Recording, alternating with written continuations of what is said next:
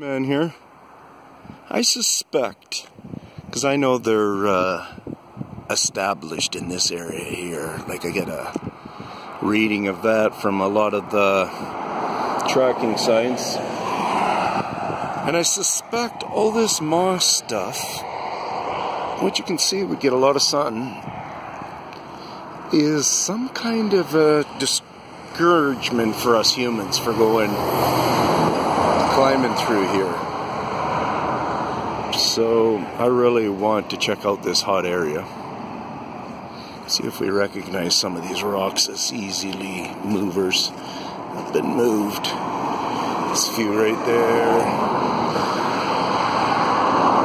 A couple there, some maybe being fractured as we speak, you know.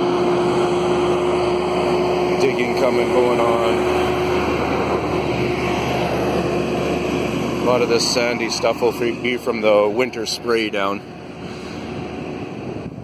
But um, that is all just a huge mountain of rock. And what do I talk about, man? It's all fractured through up in there.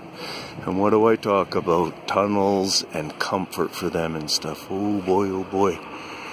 This is looking really cool to explore.